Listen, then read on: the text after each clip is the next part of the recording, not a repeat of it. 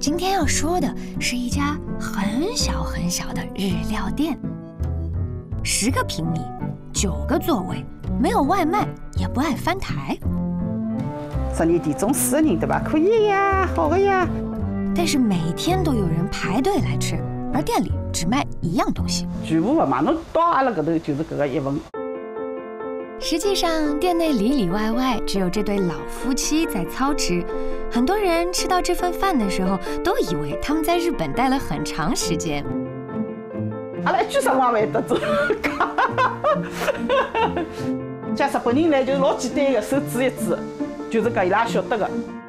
虽然连日本都没去过，但老先生却跟日本师傅学了整整十年，才被允许出来自立门户。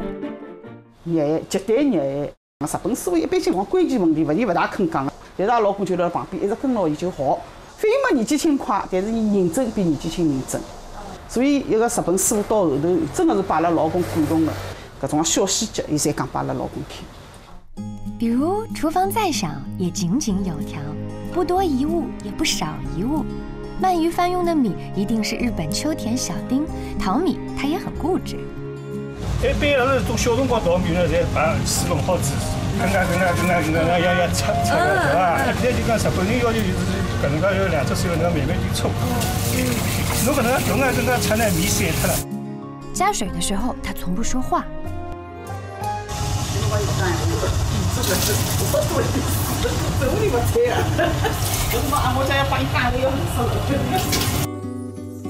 先生烤了十年的鳗鱼，但依然说没有一成不变的公式和计量好的酱料，因为每天每块鳗鱼都是不一样的，不同的厚薄、分量，酱就不能多一分，也不能少一分，并且他一定固执的等到客人落座才开始烤。